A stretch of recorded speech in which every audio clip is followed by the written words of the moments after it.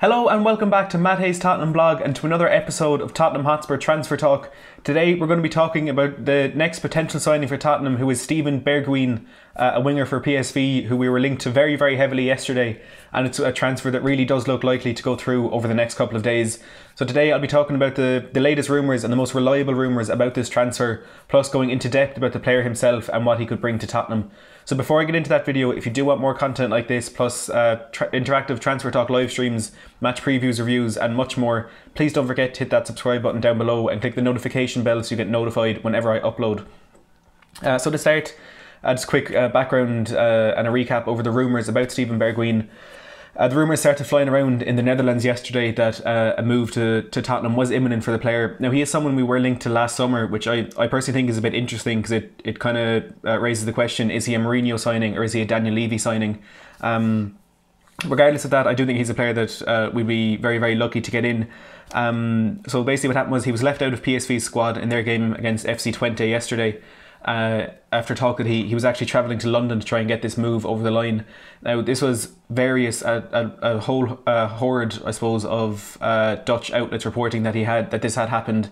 And they quickly kind of started getting confirmed on the uh, English side of things, with Sky Sports especially talking about Tottenham's interest in the player intensifying.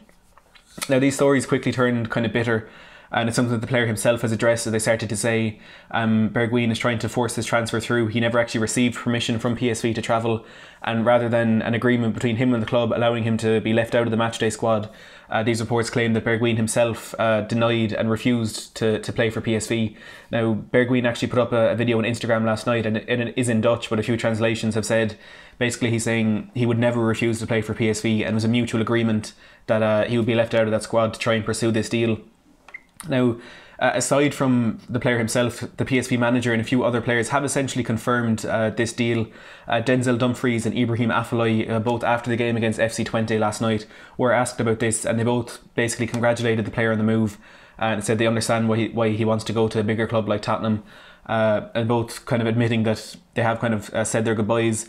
the manager himself said I kind of clarified those reports about a disagreement between him and the player, and he said uh, Bergwijn asked to be left out of the squad to, to try and pursue this move, and the manager said he knows that there is a transfer to Tottenham imminent. He actually mentioned Tottenham specifically, um, and he said the player was actually given permission to travel to London to, to get this deal over the line. So kind of you know you can have these really reliable sources that I always go on about who obviously we do trust a lot, but when it's coming from the manager himself and the players themselves, um, you kind of do have to imagine it's only a matter of time before this one is confirmed.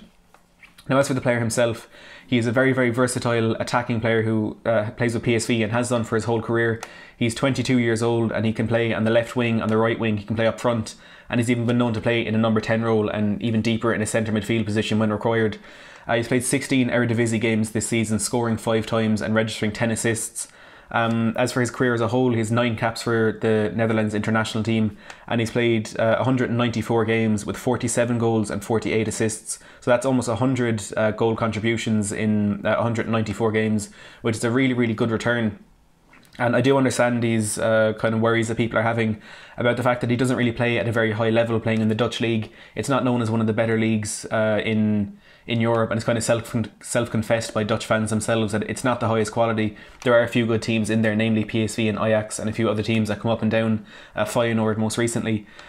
Um, so kind of looking at his uh, his his stats on a more uh, prestigious level, mainly looking at the Champions League, and they're not as impressive. He's played twelve games in the Champions League, starting seven of them, and uh, he, he's yet to score a goal, and he has only two assists.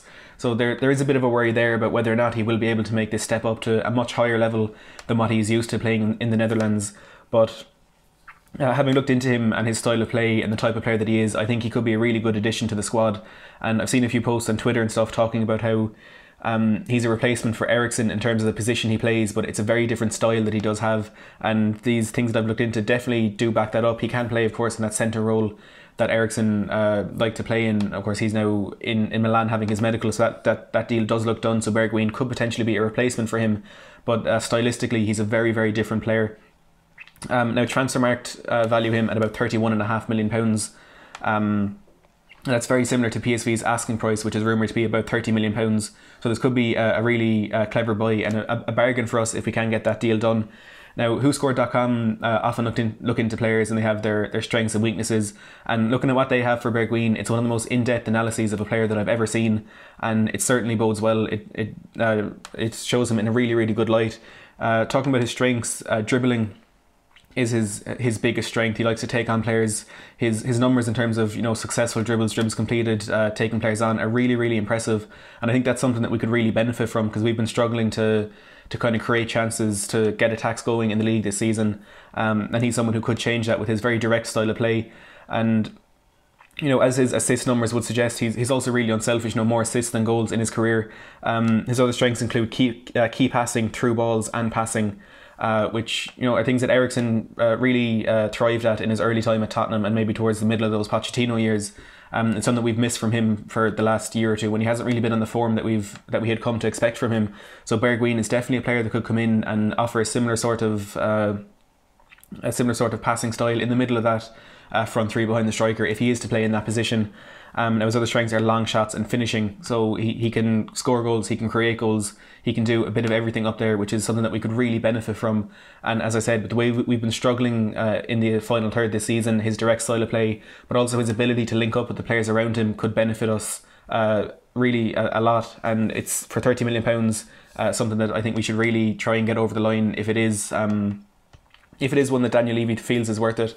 The rumours say he has offered £20 million or some saying £25 million. So, with that, uh, the fact there's not too much difference in the valuation between the, the two clubs, it does feel as though it will get over the line. Um, now, his weaknesses are maybe something that would be a bit of uh, a concern, maybe for Jose Mourinho, or maybe just something that can be worked on over the next couple of uh, months if he does sign. Um, and they are uh, tackling and his defensive contribution mainly, which with the way we like to high press and the way we kind of have been struggling defensively. We need to get numbers behind the ball. If he is someone who's going to be, I suppose, not tracking back and things like that, it would be a big worry for us. But if we if we can get that uh, into his game, it's certainly he'd have a bit of everything of what we need in there. Um, now his other weakness is aerial duels, but at five foot eight, I suppose you know it's not something that you can really complain about. It's kind of what you'd expect of him. The only small player I really know who who is so consistent in winning aerial duels is Lucas Moura. There there aren't many players out there like him. Now his style of play again uh, WhoScored go into great depth in this. And the main one is he's a counter attacking threat, which with the, the pace that he does have, he's a, a rapid player. He's, I suppose, similar in that area to Lucas Moura. Um, it would be great to get him in there, having that counter attacking threat. Um, his others, he likes to play short passes, uh, likes to do layoffs. So, again, that link up play is one of his biggest strengths, something he uh, not only can do, but something he enjoys doing, um, which could, again, be absolutely outstanding for us to get in, get him in. Uh, likes to dribble, likes to cut inside, and does not dive into tackles. I suppose that does not dive into tackles would be more of a um, a hindrance perhaps rather than a good thing because it, it kind of links back to that weakness in defensive contribution. But you know if he can if he can provide on the other end, it's something that you can work on uh, in due course. But definitely something that does need to be improved. Um, now, as I was saying about the the deal where the rumours are at the moment, uh, PSV apparently value him at about thirty million pounds, and they're unwilling to uh, budge on that uh, on that fee. Uh, the reports varying. Tottenham have offered twenty million. Tottenham have offered up to twenty five million pounds. Um, and with the way Daniel Levy does like to do business, I assume it will be a case of um, us offering thirty million pounds, but it will be about the structure of the deal and and how quickly PSV will get that money. I'm sure they'll want it as much upfront as possible, but you know, with Daniel Levy, he, he always seems to get what he wants. Uh, looking at this Christian Eriksen deal now, some of the the little bonuses that he's getting in there from Inter Milan are absolutely crazy. Um, so I imagine he will he will get this deal done the way he wants to do it. Um, there are some reports now suggesting that the personal terms between Tottenham and the player are actually agreed. This I'm sure would have materialised over the last couple of days as he have, has travelled to London. Now there are some sources suggesting that Tottenham have not one but two medicals booked um, for players this week. You'd imagine Steven Bergwijn is the the first one. As I said, I, I really do feel as this is one that will get over the line uh, over the next couple of days, and we will see him uh, potentially in the squad for the game against Manchester City next Sunday. Um, but if not, um, the, the league game after that for sure. Of course, he, he'll be inel- ineligible for the game against Southampton in the FA Cup because um, you have to. The only players you can use are ones that were um, eligible to be in, in the squad when the initial tie was played. Now, as for the second medical. I mean, it could be anyone because this Bergwijn deal is quite similar to the Gedson Fernandes one, where the majority of it seems to have been done w- without the um, mainstream media getting uh, getting wind of it. Because Gedson, I think, was the Friday that uh, that actually first broke in the news, and by Monday everything was done, and then he was confirmed on the Wednesday. Um, So this is a very fairly similar one to that. But if there is a player that I'd have to guess would be that second medical this week, if those rumours are true, I would assume it's Krzysztof Piatek. Um, now Chelsea may have swooped in to try and steal that deal. I'm not sure about that. Uh, again, it's just these varying reports, but the the most uh, reliable ones, I suppose, mainly being I think it's either Di Marzio or uh, Fabrizio Romano, saying that uh, to Tottenham is looking very likely at the moment. So if we can get these two uh, deals in, it will certainly improve us and give us, I wouldn't say a real chance, but it would give us a big boost in our pursuit of top four this season. Now, uh, I do have a video out about Krzysztof Piatek, um, the same kind of thing, looking at his style of play and, and why I think he'd be a good fit for Spurs. So I'll link that down in the description in the comments below if you want to go and watch that.